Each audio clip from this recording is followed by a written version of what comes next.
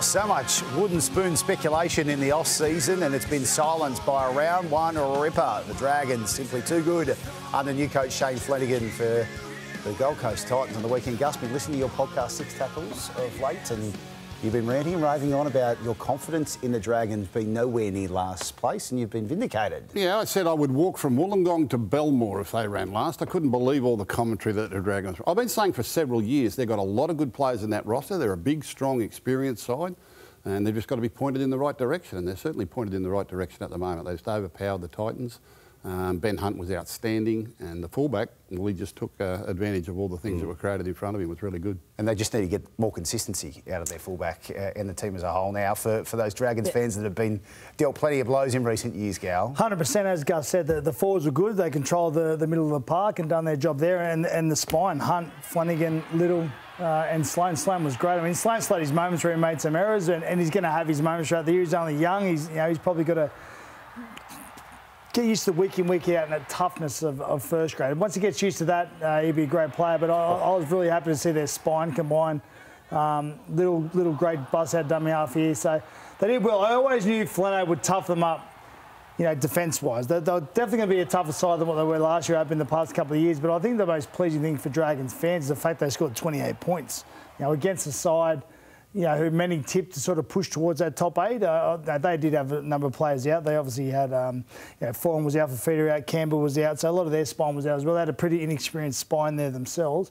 Uh, but for the Dragons to score 28 points, I thought it was a great start of the season for them. Yeah, you've been coached by Shane Flanagan. Can you explain to us what he does, how he, well, what the secret to his coaching method is? I mean, you, you mentioned toughness, but is it more than that? Yeah, for me, for me, he. Um, he, made me want to play for him, and I think I think that's important as a player. You, you got to want to play for your coach. You got to want to put your body in the line for the coach and, and bleed for your coach, and that's that's one thing he always done to me. He always took a personal interest in, in his players. Uh, look, there's obviously guys that he had to get rid of over time and probably don't like him. He didn't like them, but for me personally and for other players at the club, he, he took a personal interest in it in us, and um, just makes you want to play for him. And he's just he's a real tradesman-like person. He works hard. He's in there. He's the first person in there. He's the last person to leave every day.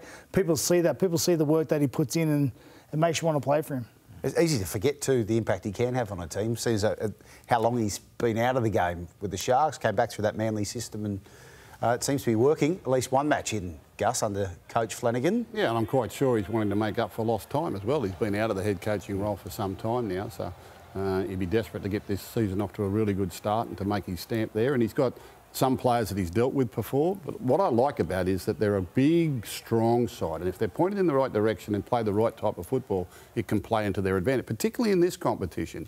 And you showed that the other night. If the opposition were a little bit off their game, Dragons were just too powerful and too consistent over the 80 minutes, and that's enough to win early games in this season. He's, try, he's trying to keep a lid on it. I know. He's, he's trying to keep a lid on it. He's, uh, it's only one round in, as, as he knows, but. Uh, well, I think the Titans will be disappointed the way they turned up for round one. Yeah, I think they will. They had, they had players out, as you saw. Yeah, They'll get yeah. better in the coming weeks. And, and there were some disappointing performances in the round, but the early rounds are like that. Like you, you don't get it right in round one, uh, you can turn it around very, very quickly in round two. So um, those teams that probably disappointed themselves in their first outing will be bet, all the better for the experience. Um, and Dragons got off to a fast one. The, the, the Titans were pretty. They had so many errors, particularly just after half time. They gifted like errors like this, just coming out of there, and that was not long after half time. That one, just gifting the Dragons field position and ball. It's just you can't make them. So the, the early part of the season, you've got to have a decent completion rate to win games, and they just didn't have anywhere near required the other night. We saw that from Newcastle. We saw that from Penrith yeah. round one symptoms? We saw it from the Broncos. Like I, I, often say, you can't play your round 15 football in round one. And the ones that played the round one football came out on top uh, in this particular round. Um, you know, sometimes some teams get a little bit excited. They get out there and they try to show you everything they've achieved during the off season and try to put it all into effect in one go. Mm. As Paul said, if you can hold on to the ball, control the ball, kick, chase, tackle, you're going to wear down a lot of teams in the early part of the season, particularly in the heat when the ball's a bit slippery and your timing's not 100% right. And those teams that played the perfect round one style came out on top.